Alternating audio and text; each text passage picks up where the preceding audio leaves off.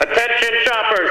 Do exactly as I say and nobody gets hurt. Resist and innocent creatures will be beaten, scalded alive, dismembered. And their throats will be slit. While countless people will be poisoned at random by food laced with deadly bacteria. It's your choice. But if you know what's good for you, you'll meet my one simple demand. Go vegetarian!